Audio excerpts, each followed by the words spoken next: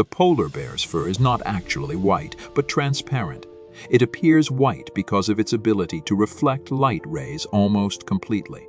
In fact, the fur is hollow inside and green algae can settle there and turn the fur green. Its skin, on the contrary, is black, which allows it to absorb heat from the sun to the maximum, so polar bears dry quickly after diving into the water and do not freeze.